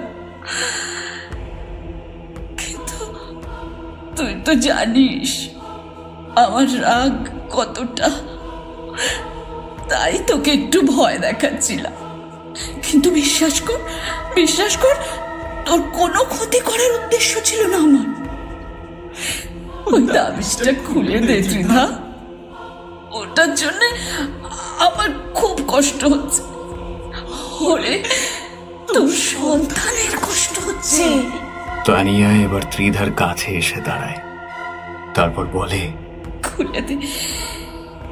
দেখ দেখ ওই তাবিজের জন্য আমার কি হচ্ছে দেখ। ত্রিধা দেখে তানিয়ার গলায় সেই কালশিটের দাগ থেকে রক্ত পড়ছে। সারা গায়ে পড়েছে ফোসকার দাগ। সেখান থেকেও রক্ত পড়ছে। তানিয়া বলে ওই তাবিজের জন্য সব হচ্ছে। তুই যদি এখনও পড়ে থাকিস তবে কিন্তু তোর এবারেও মা হবে না। ত্রিধার গলা থেকে একটা চিৎকার বেরিয়ে আসে। না না। সে দুবার মাতৃত্ব থেকে বঞ্চিত থেকেছে, কিন্তু আর নয়। সে তাড়াতাড়ি তাবিজটা খুলে ফেলতে যায়। ঠিক তখনই একটা একটা পরিচিত গলার আওয়াজে থমকে যায় ত্রিধা। সে দেখে ঘরটাতে ধীরে ধীরে আলো ফুটে উঠছে, আর ওর সামনে এসে দাঁড়িয়েছে ওর মা। মা বললেন, এখনও এত বোকা রয়ে গেলি তুই? তানিয়ার কথায় তুই তোর রক্ষা কবচটা খুলে ফেলছিস?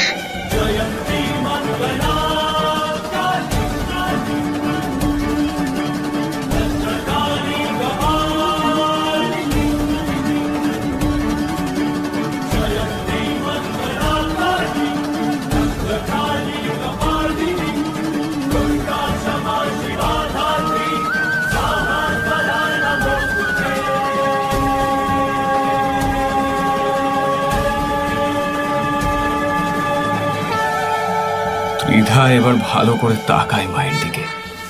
মাকে দেখে চোখ যেন জুড়িয়ে আসে ত্রিধার। কি সুন্দর লাগছে মাকে। মায়ের পরনে লাল পাড়, সাদা শাড়ি, কপালে একটা বড় সিঁদুরের টিপ, চুলটা হালকা করে খোপা করা। ঠিক যেন কোনো দেবী মূর্তি ত্রিধা বলে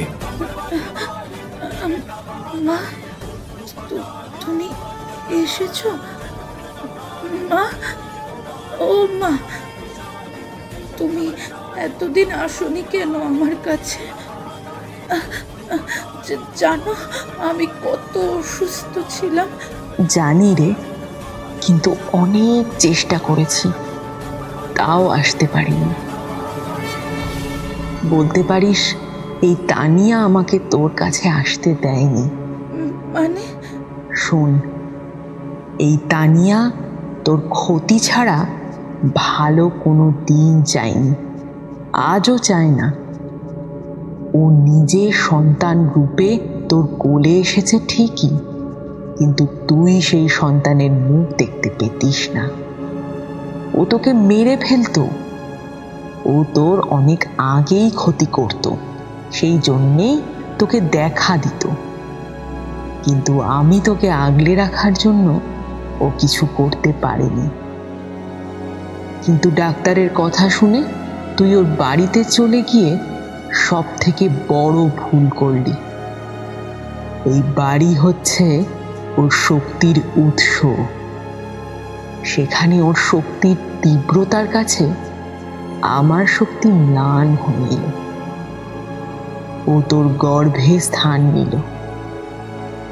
ও আর কিছুদিনের মধ্যেই তোকে মেরে ফেলতো। কিন্তু নারায়ণ বাবুর এই কবচ তোর ঢাল হয়ে দাঁড়াল। আর আমিও নিজের শক্তি ফিরে পেলাম।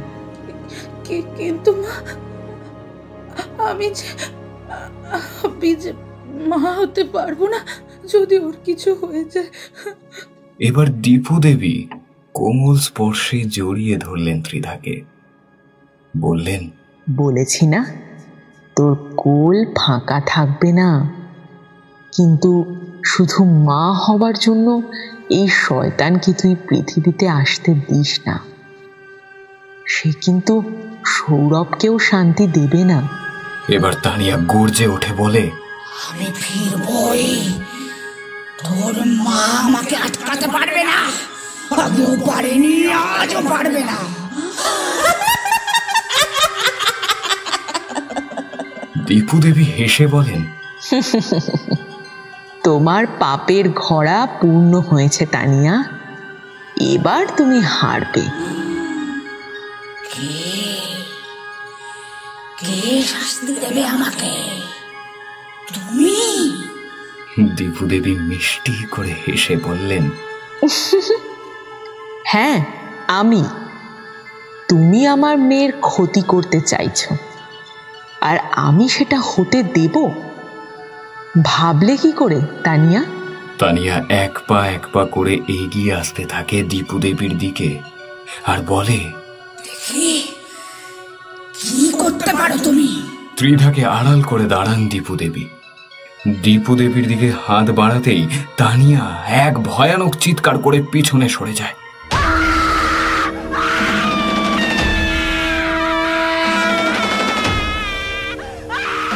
তোমার পাপের ঘোড়া পূর্ণ হয়েছে। তোমার মতো পাপী আত্মা আমার কিচ্ছু করতে পারবে না। তানিয়া নিষ্ফল আক্রোশে বলে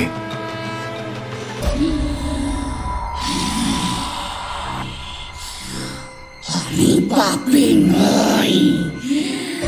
তুমি পাপে। তাহলে তোর পাপগুলো মনে করিয়ে দেই। তুই সুতনুর পুরো পরিবারকে খুন করেছিস। আত্মহত্যা করার মতো জঘন্য কাজ করেছিস। আবার মৃত্যুর পরে নিজের জন্ম নিয়ে ত্রিধাকে মৃত্যুর দিকে ঠেলে দিতে চেয়েছিস। এগুলো তো গেল বড় পাপ। যদি তোর সব পাপের হিসেব করতে বসি, তো বছর ফুরিয়ে যাবে। কিন্তু তোর পাপের হিসেব শেষ হবে না। ত্রিধা নিজের কানকে বিশ্বাস করতে পারছে না। সুতনুদাকে খুন করেছে তানিয়া। সে কাপা গলাতে বলে মা মা যা বলছে সত্যি বলছে তানিয়া? দীপুদেবী কিছু বলার আগে তানিয়া গর্জে উঠে বলে আমাকে ছেড়ে তোকে বিয়ে করতে চাওয়ার চরম শাস্তি ওকে? আমি তোর বন্ধু ছিলাম কিন্তু তুই তুই বেইমান ছিলিস। আজও তাই আছিস। ত্রিধাকে কষ্ট পেতে দেখে তানিয়া বলে ওরে এটা শুনেই এত কষ্ট পাচ্ছিস? তাহলে আরও শোন। সেদিন তোদের বাড়ির আগে যে ফাঁকা রাস্তাটা আছে সেখানে আমি অপেক্ষা করছিলাম সুতনুর জন্য। কিছু লোক দিয়ে একটা বড় গাছ হাফ কেটে তৈরি রেখেছিলাম। ওদের গাড়ি আসতেই সেটাকে ওদের গাড়ির উপরে ফেলে দিলাম।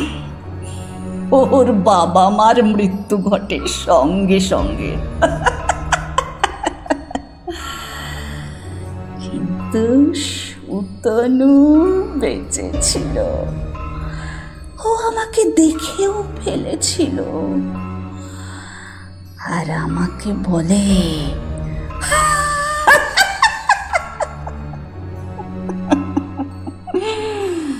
আমি নাকি শয়তান।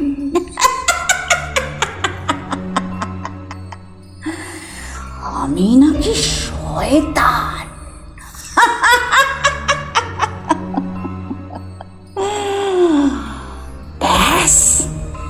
আমিও ঠিক করি। শয়তান যখন শয়তানিটা তাহলে ঠিক করেই করি। হাতের কাছে পড়ে থাকা একটা বড় পাথর তুলে জোরে বসিয়ে দিলাম সুতনুর মাথায়। আর সঙ্গে সঙ্গে সব শেষ। না না! এবার তোর পালা তুই মরবি? আমি জন্মাবো। তারপর অতিষ্ঠ করে তুলবো তোর বরের জীবন।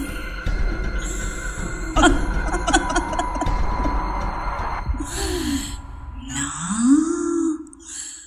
তোর বর না, আমার বাবার জীবন।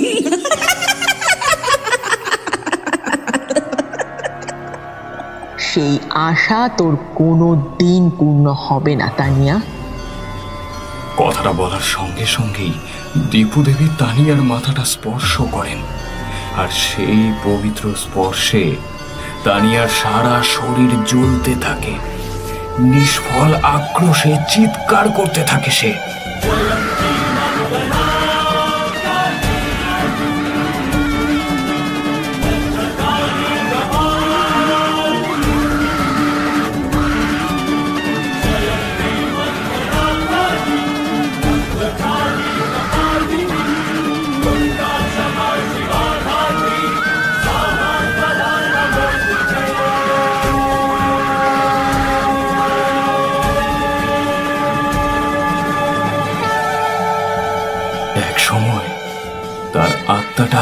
ছাইয়ে পরিণত হয়ে মিলিয়ে যায় হাওয়াতে। ত্রিধার মনে হয় ওর শরীর দিয়ে কি যেন একটা বেরিয়ে গেল। হঠাৎ মাথাটা টলে ওঠে ওর। একটা নরম হাতের স্পর্শে চোখ মেলে ত্রিধা। দেখে দীপু দেবীর কোলে এসে শুয়ে আছে। দীপু দেবী বলেন, তুই চিন্তা করিস না। তানিয়া তোর আর কোনো ক্ষতি করতে পারবে না। ত্রিধা ধীরে ধীরে বলে আমার আমার আমার সন্তান। আমি তোকে কথা দিয়েছি তো তোর কোল খালি থাকতে দেব না। আমি আসব তোর মেয়ে হয়ে। মা মা তুমি তুমি হাসবে স- সত্যি মা? দীপু দেবী ত্রিধার কপালে একটা স্নেহের চুমু দিয়ে বলেন। আজকের পর তুই হবি মা আর আমি হব তোর মেয়ে। জ্ঞান হারায় ত্রিধা। জ্ঞান ফেরার পরে ত্রিধা জানতে পারে সে মৃত সন্তান প্রসব করেছে। দেড় বছর পরে আজকের দিনে। বৌমা? বৌমা? দেখো দেখো তোমার দিয়া কি দুষ্টুমি শুরু করেছে, দেখো। ইলা দেবী কখন যেন হাসি মুখে ডাকতে ডাকতে তার ঘরে এসে দাঁড়িয়েছেন আর তার কোলে চিৎকার করে কাঁদছে তার ছ মাসের মেয়ে দিয়া। আজ তার অন্নপ্রাশন। অন্নপ্রাশনের নিয়ম মায়েদের দেখতে নেই। তাই ত্রিধা ঘরে বসে পুরনো কথা ভাবছিল। সে তাড়াতাড়ি কোলে নেয় দিয়াকে। আর সঙ্গে সঙ্গে দিয়া কান্না থামিয়ে নিশ্চিন্তে মাথা গুজে দেয় ত্রিধার বুকে আর নিজের আঙুল চুষতে থাকে। ঠিক ছোট্ট বেলাতে ত্রিধা যেমন করে দীপু দেবীর কোলে উঠত। ইলা দেবী বলেন, কি দুষ্টু হয়েছে দেখো। কে বলবে ওর চিৎকারে? এতক্ষণ বাড়িতে কাকচিল বসতে পারছিল না। আর এখন দেখো, কেমন শান্ত হয়ে আছে। মাকে ছাড়া আর কাউকে চেনেই না যেন। তারপর আদুরে গলাতে দিয়ার দিকে তাকিয়ে বলে কীভাবে অন্য কাউকে চিনবে? ও তো আমার মিষ্টি মা সোনা মা। তাই আমাকে ছাড়া কিচ্ছু বোঝে না। তাই না মা? ছোট্ট এক রত্তিটা কি বোঝে কে জানে? কিন্তু এমন ভাবে মাথা দুলিয়ে খিলখিল করে হেসে ওঠে। যেন ওকে দেখে মনে হয় ও ত্রিধার কথাকে সমর্থন করেছে। আর ঠিক সেই সময় ল্যাপটপের গানটি হঠাৎ বন্ধ হয়ে যায়। আর তারপরেই ল্যাপটপ থেকে ভেসে আসে এক চেনা কণ্ঠস্বর।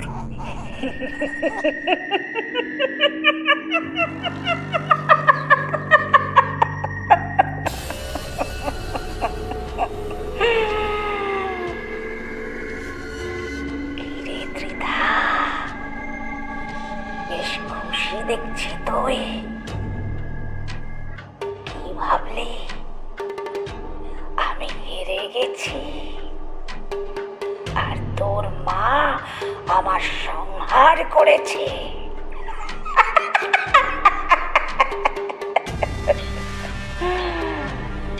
এত সহজে আমি কোনোদিন হার মানিনি আর মানব না।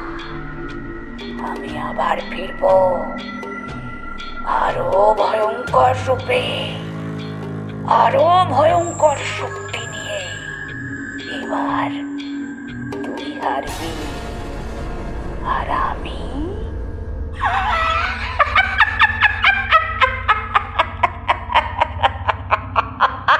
দেখে, এখন তার ল্যাপটপে তার নিজের খোলা সেই পিকচার আর নেই। তার জায়গায় এসেছে একটি নারী মূর্তি। এবং সেই মুখ তার খুব চেনা।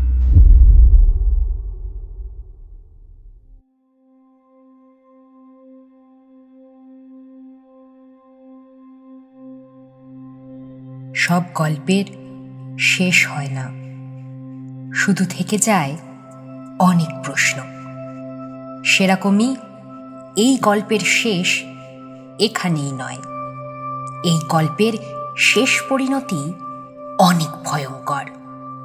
আপনারা এখন শুনলেন শ্রীধার স্বপ্নে ঘটে যাওয়া ঘটনার বর্ণনা। কিন্তু বাস্তব পরিস্থিতি এখনও বাকি আছে। যেখানে হয়তো ঘটতে চলেছে আরও বিভৎস, ভয়ঙ্কর কিছু ঘটনা, যা আসবে খুব শীঘ্রই। শুনছিলেন বিষ মন্ত্রের প্রথম পর্ব। রচনা রিয়া দাস সামন্ত। গল্প পাঠে মিমো। ত্রিধার চরিত্রে সৃষ্টি দে। সৌরভের চরিত্রে দর্শ রিঙ্কু দেবীর কণ্ঠে রিয়া দাস সামন্ত। দীপু দেবীর চরিত্রে মোনালিসা ভট্টাচার্য। সৌরভের মাসির কণ্ঠে রূপা গাঙ্গুলি। তানিয়ার চরিত্রে রূপা সুর। সুতনুর কণ্ঠে সৌম্য চ্যাটার্জি। ডাক্তারের চরিত্রে সুজিত মুখার্জি, সাইক্রাটিস্টের কণ্ঠে প্রমিত মুখার্জি, জয়দীপ বর্মনের চরিত্রে অনিন্দ ভট্টাচার্য, ইলাদেবীর কণ্ঠে স্বাগতামন নারায়ণচন্দ্র ব্যানার্জির চরিত্রে অঞ্জন রায় চৌধুরী, গল্পের সূত্রধার আমি, তপশ্রী ঘোষ, নাট্য রূপান্তর মুনমুন রায়, পর্ব পরিচালনা, আবহ ও ধ্বনি পরিকল্পনা Asterix, original signature theme created by Shubhra Kamal Mukherjee প্রচ্ছদ নির্মাণ অভিজিৎ ঘোষ আবহ সঙ্গীতের কণ্ঠ শ্রেয়সী সাহা সহযোগী channel authentic shadows of Kolikata নেলচেনেল creatives এবং এক্সপ্লোর দি লাইফ ইটিএল আমরা বিশেষভাবে কৃতজ্ঞ পার্থ মুখার্জির কাছে এই উদ্যোগে আমাদের পাশে থাকার জন্য। আজকের গল্পটি আপনাদের কেমন লাগল তা অবশ্যই আমাদের কমেন্ট সেকশনে জানান। আমাদের এগিয়ে চলতে সাহায্য করুন শুধুমাত্র একটি সাবস্ক্রাইবের মাধ্যমে। আমরা খুব তাড়াতাড়ি ফিরছি আরও একটি রোমাঞ্চকর গল্প নিয়ে। ঠিক রাত দশটায় শুধুমাত্র লাইভ স্টুডিও ক্যাফেতে তাই শুনতে থাকুন live studio cafe stay tuned and happy listening thank you